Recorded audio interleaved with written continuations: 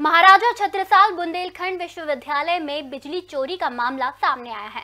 विद्युत विभाग ने विश्वविद्यालय पर धारा 135 के तहत विद्युत चोरी का प्रकरण दर्ज किया है। बिजली चोरी के मामले में बिजली विभाग ने यूनिवर्सिटी पर तीन लाख रुपए की रिकवरी लगाई है, जिसकी जाँच की जा रही है। दरअसल महाराजा छत्रसाल बुंदेलखंड विश्वविद्यालय में पिछले हफ़्ते विद्युत विभाग को विश्वविद्यालय में विद्युत चोरी की शिकायत मिली थी, जिसके बाद विभाग की टीम ने छापा मारकर खंभों पर लगे केबल जब्त कर लिए।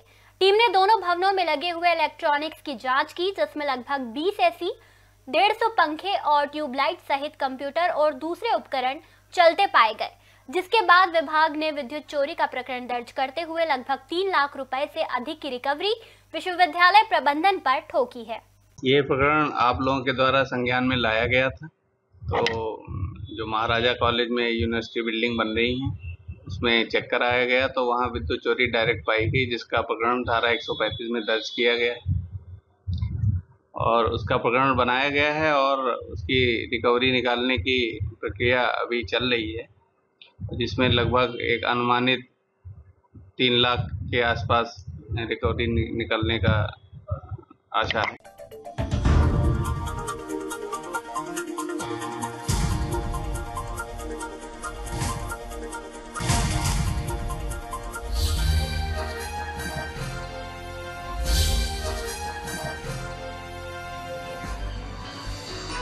आप देख रहे हैं दखल न्यूज़।